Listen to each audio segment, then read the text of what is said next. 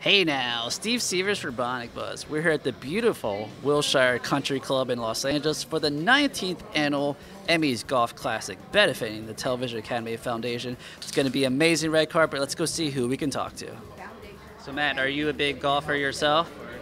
Uh, I I I am a golfer, a big golfer. Uh, I, I used to be a big golfer. I'm uh, a much smaller golfer now. I, I don't golf nearly as much as I once did. But uh, I love the sport, and to be able to play on a course like this on a day like this, you can't turn it down. Cool. So tell us about working with the Television Academy Foundation and why it's so important to raise money for this.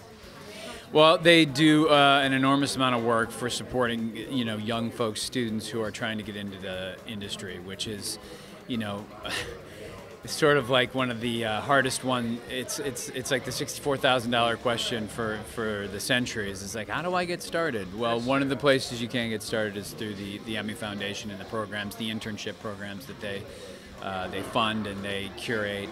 So uh, it's a pleasure to be able to support that and feel like you're sort of giving back to the next generation of artists and crew members and everybody else who's going to be coming into the business. Very cool. Any upcoming projects allowed to talk about? Yeah, I'm, uh, uh, I'll be in season four of Narcos, which uh, drops on Netflix on November 16th. Um, it's been rebranded as Narcos Mexico.